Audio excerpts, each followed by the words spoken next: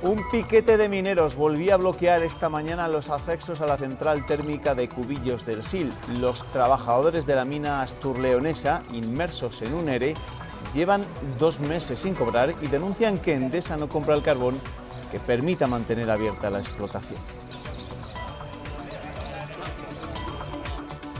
¿Qué tal amigos? Buenas tardes. Un mes después de las elecciones, el rey comienza la ronda de consultas con los líderes políticos. Siguiéndolas está Sara Ayuso. Sara, ¿qué tal? Buenas tardes. ¿Está preocupado el monarca por la situación?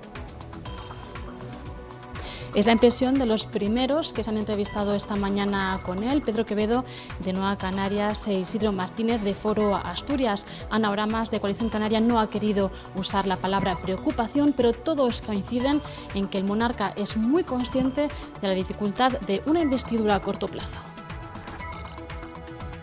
La primera tarea del Gobierno, cuando haya, será elaborar, establecer el techo de gasto. Ese dato lo espera también la consejera de Economía y Hacienda para diseñar ya los presupuestos de la Junta.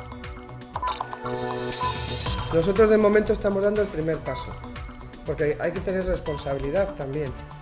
Y nuestro trabajo ahora mismo es hacer un presupuesto, pero claro, a ver con qué grado de, incertidumbre y de falta de muchísimas certezas. Vuelven a saltar las alarmas en Francia tras lo que parece ser un nuevo ataque terrorista.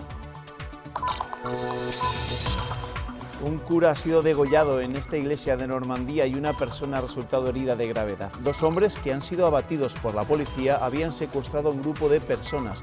Los secuestradores se declararon miembros del Estado Islámico. Nace en Barcelona el primer bebé de Europa con microcefalia asociada al virus Zika. La madre, que se infectó en un viaje a América Latina, supo a las 20 semanas de embarazo que su bebé estaba infectado, pero decidió continuar con la gestación.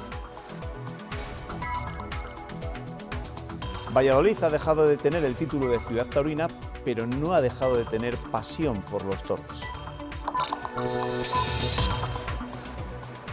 Estas son las colas para renovar los abonos de la Feria de la Virgen de San Lorenzo de septiembre, que incluye el festejo homenaje a Víctor Barrio. La presencia de José Tomás dos tardes ha generado gran expectación entre los aficionados. A nuestro hombre del tiempo no le vamos a pedir tiempo de septiembre. De momento nos conformamos con el de las próximas horas. Andrés Gómez, ¿qué tal? Buenas tardes. ¿Qué tal? Buenas tardes. Más fácil, desde luego, Sí, sí. el tiempo de las últimas horas que el de septiembre.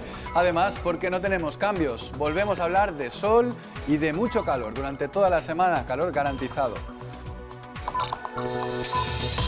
Ya lo ven en el mapa, muy poquitos cambios. El sol volverá a ser el único protagonista y el calor seguirá siendo intenso. Se mantienen los avisos por altas temperaturas en Salamanca, en Zamora, en Valladolid y en el sur de Ávila. Máximas por encima de los 35.